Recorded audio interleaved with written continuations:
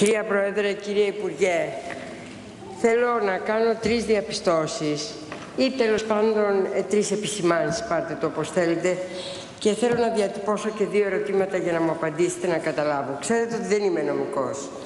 Ξέρετε ότι αντίθετα είμαι δασκάλα, εκπαιδευτικός. Μια ζωή δίδασκα. Πολλά χρόνια. Και ήξερα αυτό που μου έκανε εντύπωση πολύ όταν σας άκουσα το Σάββατο, κύριε Υπουργέ, να λέτε, ότι υπάρχει το αναφέρετο δικαίωμα της μόρφωσης. Το αναφέρετο δικαίωμα της μόρφωσης για τον κρατούμενο.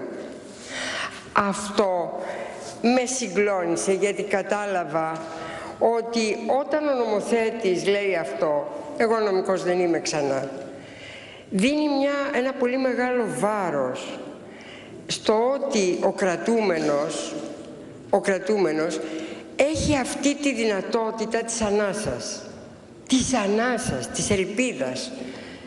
Και κύριε Υπουργέ, σκέφτομαι ότι ένας νεαρός άνθρωπος, σημαδεμένος, το ξέρουμε όλοι, σημαδεμένος, από μια δολοφονία. Δεν θα το κάνω τραγικό κύριε Υπουργέ. Σας μιλάω καθαρά σαν εκπαιδευτικός και σαν σκεπτόμενος άνθρωπος για να μου απαντήσετε κι εσείς ισότιμα. Όταν λοιπόν ένας άνθρωπος, αυτός ο άνθρωπος, θέλει να μπει στο πανεπιστήμιο και το κάνει, στα αίη της χώρας και το κάνει, τι επενδύει σε αυτή την προσπάθειά του; Δεν επενδύει αυτή την ανάσα της γνώσης, αυτή την ανάσα, αυτό το αναφέρεται το δικαίωμα, μέσα από αυτό το αναφέρω το δικαίωμα, να βρεθεί μέσα σε ένα πανεπιστημιακό ίδρυμα μαζί με άλλους ανθρώπους, μαζί με δασκάλους, καθηγητές, σαν ανάσες, σε ένα τρομακτικό και ζωφερό παρόν του εγκλισμού. Αυτό δεν είχε στο μυαλό του. Είχε στο μυαλό του να δραπετεύσει. Μόλις του δίναν την άδεια. Και αν είναι έτσι, αν δηλαδή έχω δίκιο σε αυτό το, σε αυτό το συλλογισμό και γι' αυτό σας ρωτάω κύριε Υπουργέ, μήπως η τροπολογία σας είναι εντελώς λάθος. Γιατί ακριβώς τους στερεί την ανάσα. Δεν είναι η γνώση η ίδια ο μόνος σκοπός αυτής της διαδικασίας μορφωτικής και απελευθερωτικής. Είναι όλο αυτό το πλαίσιο που περιέγραψα. Σκεφτείτε το λίγο. Γιατί ξαναγυρνάμε στην ιστορία που είχαν οι παλιοί αριστεροί, που μαθαίνανε, μορφωνόντουσαν μέσα στις φυλακές. Δεν είναι αυτό που μπορεί να λέει ο νομοθέτης και να εννοεί. Εσείς το ξέρετε καλύτερα. Το δεύτερο. Εμείς εδώ σαν Βουλή νομίζω ότι αφού είμαστε το νομοθετικό σώμα είμαστε πάντα πολύ ευαίσθητοι σε αυτό που λέει η κοινωνία. Αυτό που είναι η κοινή βούληση της κοινωνίας. Και εγώ δεν σας λέω, δεν σας ρωτώ, είναι κοινή βούληση της κοινωνίας σήμερα ο Ρωμανός να μπορεί να πάει στα ΤΕΗ και να αρχίσει τα μαθήματά του; Δεν σας ρωτώ σε αυτό γιατί θα μου πείτε δεν το ξέρω να, το, να κάνουμε κανένα δημοψήφισμα. Αλλά να σας ρωτήσω το ανάποδο. Ποια θα είναι η κοινή βούληση της κοινωνίας εάν πεθάνει; Δεν θα είναι η πλήρης απαξίωση αυτού του πολιτικού συστήματος που δεν κατάφερε ανάμεσα στους δεδάλους τους νομικούς και της δικής του.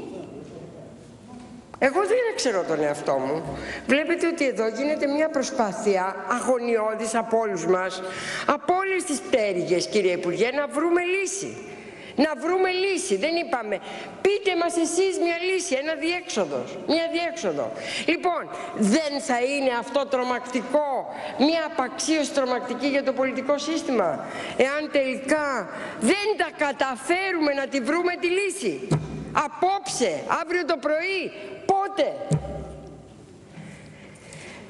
Και το τρίτο κύριε Υπουργέ, Προκηρύξατε μια διαδικασία ήδη μεγάλης πολιτικής εμβέλειας.